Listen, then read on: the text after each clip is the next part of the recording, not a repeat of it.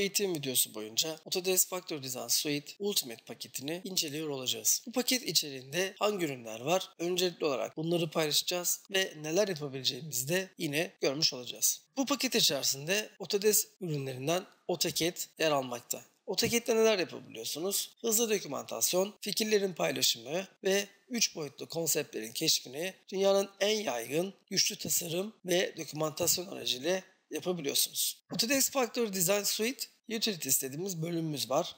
Burada ise AutoCAD ve Inventor'a eklenen bu özel araçlar sayesinde yerleşim düzeni tasarım için daha hızlı karar verebiliyorsunuz. Yerleşimden kasıtımız ise bir konveyörlü sisteminiz var ise bu sistemlerin yerleşimi ya da robotlu ve konveyörlü bir yerleşiminiz varsa yine bunları kullanabiliyorsunuz. Veya daha basit düşünelim bir market yerleşim yapmak istiyorsunuz. Raflardan oluşan işte soğutucu birimlerinin, süt ürünlerinin olduğu e, bir ünitelerden oluşan marketi sıfırdan tasarlayabiliyorsunuz ve bu şekilde de yerleşimlerini yaparak müşterinize gösterebiliyorsunuz. Yine Autodesk ürünlerinden bir diğeri AutoCAD Architecture geliyor. Architecture'da mimari tasarıma özel malzeme kütüphanesi sayesinde mimar olmasanız da bildiğiniz AutoCAD ortamında çalışarak basit fabrika modelleri oluşturabiliyorsunuz ve yerleşimde burada yapabiliyorsunuz. Diğer bir uygulama ise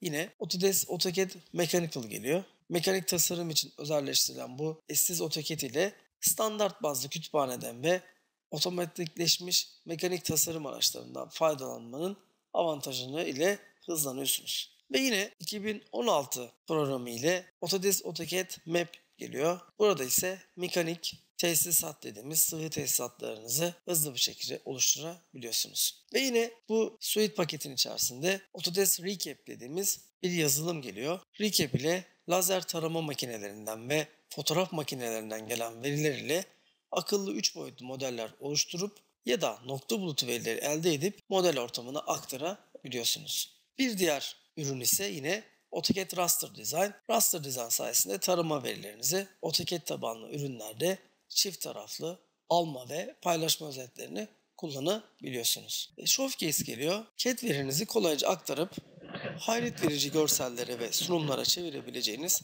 Showcase ile tasarım değerlendirme sürecinizi de ileri seviyelere taşıyabiliyorsunuz. Yine suite paket içerisinde Vault Basic dediğimiz bir yazılım daha geliyor ki bu da tasarım verinizi proje sürecinde ve sonrasında yönetip organize ederek verim hız ve güvenlikten ödün vermemenizi sağlıyor. Ve yine Autodesk Inventor geliyor ki bu da yine kullanımı kolay 3 boyutlu parametrik CAD yazılımı ile 3B mekanik tasarım, borulama, kablolama, simülasyon ve plastik kalıpçılığı yetenekleriyle hızlı, güçlü ve esnek bir biçimde ürünlerinizi tasarlayabilip bunların analizlerini yapabiliyorsunuz. AutoCAD Electrical ile çift yönlü senkronizasyon özelliklerinden faydalanarak hızınıza hız katıyorsunuz. Eğer paketiniz Ultimate değil de Premium ise bu sefer Autodesk Inventor geliyor.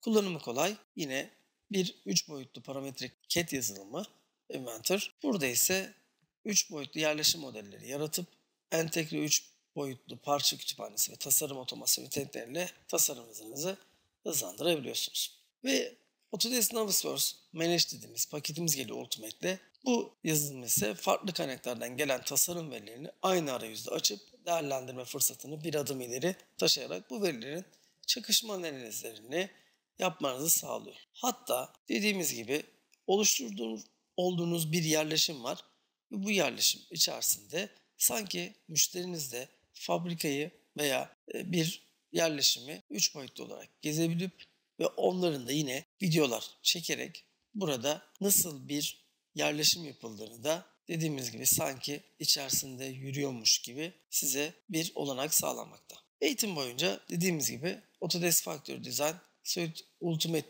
2015 paketiyle neler yapılabileceğini inceleyeceğiz. Ve burada bakın dikkat ederseniz saymış olduğumuz programlar içerisinde gelmekte. Ve bunları ayrı ayrı çalıştırarak işlemlerinizi yapabilirsiniz.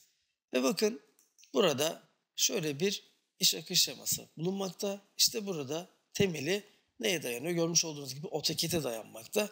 AutoCAD'de neler yapıyorsunuz? Mimari projeleriniz üzerine yerleşimlerinizi kendiniz tasarlayabiliyorsunuz. Hatta yerleşimleri gelip malzeme akış özelliklerine göre yani buna transportation dediğimiz taşıma işlemlerini de ekleyebiliyorsunuz.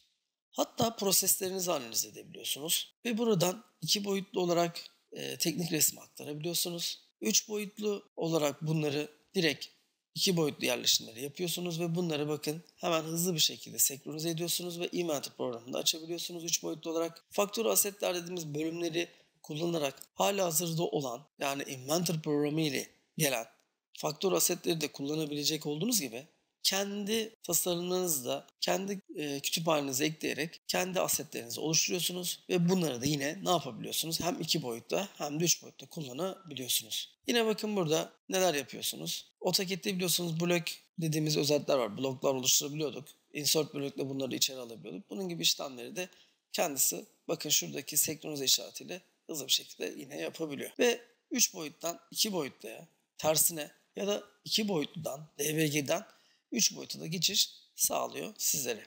Navisource'da dediğimiz gibi gezme işlemlerini yapabiliyorsunuz. Burada Showcase'de interaktif olarak sunumlar hazırlayabiliyorsunuz.